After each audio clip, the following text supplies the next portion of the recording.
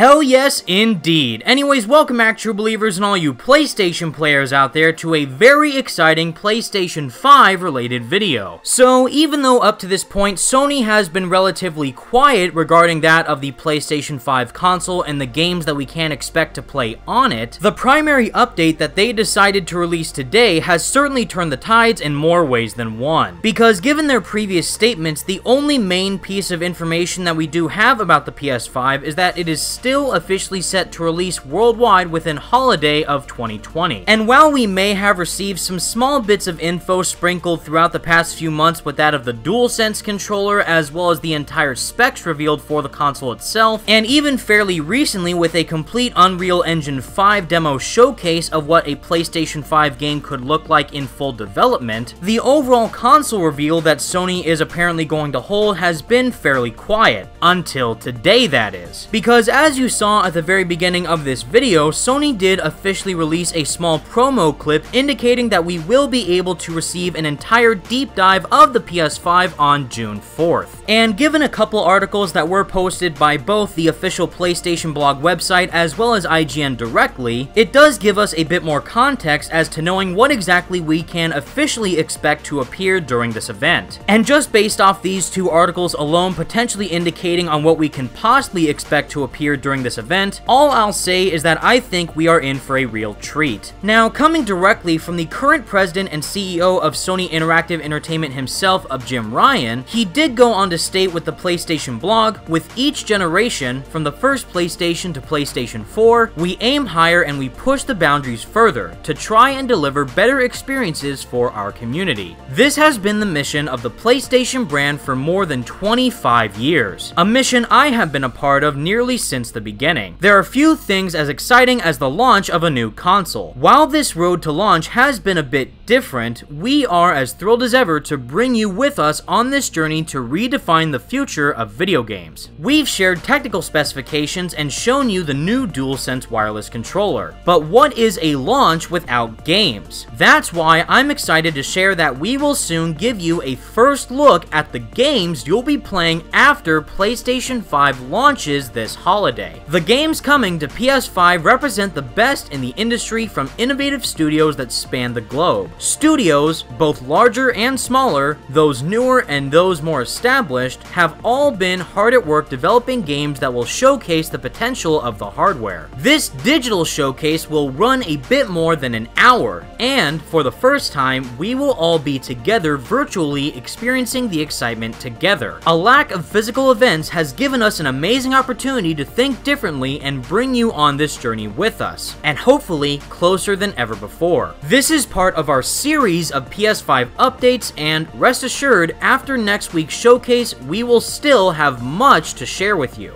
Please join us on Twitch or YouTube on June 4th at the times provided to see what's in store for the next generation of games. I hope we can make you proud. So not only is there going to be a plethora of AAA PlayStation 5 games to be revealed during this event, but apparently this is the first of their major lineup of updates that they will be providing down the line. And yes, to clarify once again, we will not only receive an actual event showcasing the PlayStation 5 in full, but primarily the video games that we will be able to play on the console directly. And to make matters even more exciting as to what type of games we could potentially see be showcased there, we do have a couple of tweets from some Insomniac Games developers indicating that they might in fact have a presence during this event. So first off, we do have a very simplistic tweet coming from one of the creative directors over at Insomniac Games of Brian Horton, where he did quote the PlayStation tweet in full and simply stated, who's excited. And to follow that up, we do have another tweet from a former Insomniac Games developer and lead designer of James Cooper, who then replied to Brian by saying, Oh, I'm very excited with a wink face emoji. Now believe me, I know what you're all thinking, does this potentially mean that we could receive Spider-Man PS5 pop up or potentially be announced during this event? And to be quite frank, even though there's nothing more I would love to see during this event than an official trailer reveal of Marvel's Spider-Man 2 exclusive to PS5, I don't know if we're going to actually receive the game in action just yet. For starters, we do know that the next major AAA Marvel game of Marvel's Avengers still hasn't even released yet, and we also know that we're going to receive an entire live stream of that game in action on June 24th. So even if by some chance Spider-Man PS5 is revealed during this event, I don't understand why Marvel would do that considering how that would take all the attention away from Avengers and immediately put it back on Spidey. But on the flip side, Spider-Man PS4 was in fact a system seller for the PlayStation brand as a whole and is one of the fastest selling video games within the first party Sony game lineup. And on top of that, it is officially confirmed by several sites that Marvel's Spider-Man is indeed the highest selling superhero game of all time. And seeing how Insomniac themselves teased at a sequel by the very end of the original game, it would only make sense if PlayStation were to reveal the sequel sooner rather than later. So if anything, while we may not actually receive a trailer of Spider-Man PS5 in action, the very least thing that I could imagine happening is them just simply stating that they are working on the game's sequel. Or even more so, if Spider-Man isn't involved within this presentation whatsoever, I could also see Insomniac Games themselves appearing during this event and simply announcing either a brand new IP exclusive to the PS5 or also a brand new Ratchet & Clank game which would also be exclusive to the PS5. Because if you forgot, Insomniac Games are now officially owned by Sony Interactive Entertainment and are part of their worldwide studios lineup, meaning that any game that they end up developing in the future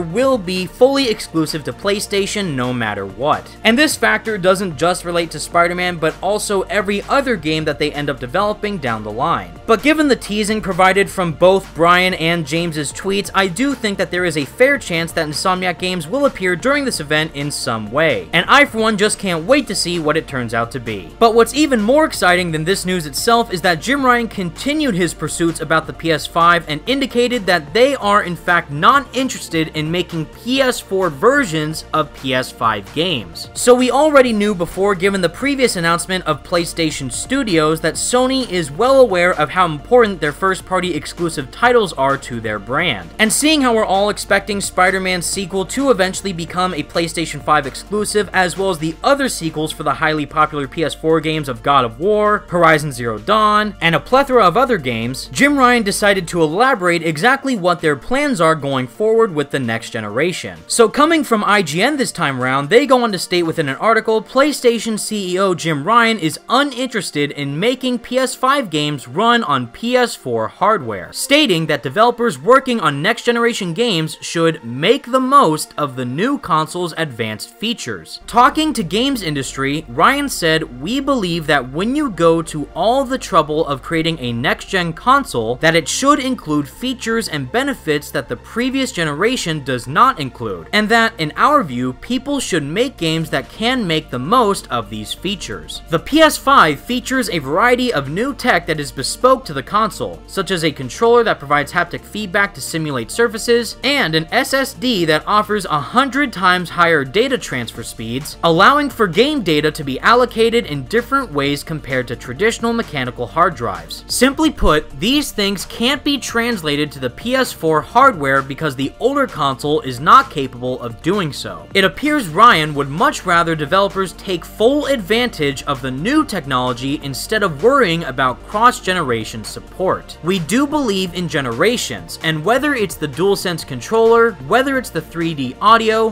whether it's the multiple ways that the SSD can be used, we are thinking that it is time to give the PlayStation community something new, something different, that can really only be enjoyed on PS5. And as a comparison, this approach is different from that being employed by Microsoft. The plan over there is for Xbox Series X games to also work on the older Xbox One hardware, albeit running at lower quality. The approach there means developers must consider the limitations of older technology while developing for what is technically the most powerful of the two next generation consoles. And given Jim Ryan's statements, I definitely think that he is leading PlayStation's future in the right direction. Essentially what he's saying is that we will in fact be receiving some of the most high quality exclusives to come directly from the PlayStation brand, and that Sony is fully utilizing all their developers to work exclusively on the PS5 and to not worry about the previous hardware. Meaning that the games that we will be able to expect down the line in the future will be some of the most mind-blowing experiences that we can expect on this platform. This is one of the main reasons why games like Death Stranding, Ghost of Tsushima, and The Last of Us Part 2 look so incredibly vivid and surreal due to the hardware that all the developers are using currently on the PS4. So seeing that the PlayStation Worldwide Studios line up like that of Insomniac Games, Sony Santa Monica, Sucker Punch, Naughty Dog, and everyone else involved in that current studio lineup, will be able to utilize the PlayStation 5 hardware to its max potential abilities is just going to be an absolutely phenomenal benchmark within the world of next generation video games. And simply based on the Unreal Engine 5 demo that we received just a couple weeks ago, I can only imagine what fully developed PS5 exclusive games are going to look like in the future. And with all that said everyone, that's the video I have for you today, and please let me know all your thoughts in the comments section down below. What do you think of this incredibly exciting PlayStation 5 news, and which games would you want to see be revealed the most during this event? Without a doubt, I would obviously love to see Marvel's Spider-Man 2 be officially revealed during this event, but if anything else, I'm actually personally interested to see what Bluepoint Games is up to with their teased new IP. Considering how they worked on the previous remasters slash remakes of the Uncharted series as well as Shadow of the Colossus, which is one of my personal favorite games of all time, I'm very intrigued to see exactly what they're working on if they do end up revealing their game during this presentation. But I guess we'll just have to wait and see until June 4th to find out for ourselves. But until that time comes, thank you all so much for watching everyone, stay awesome PlayStation players, and peace out.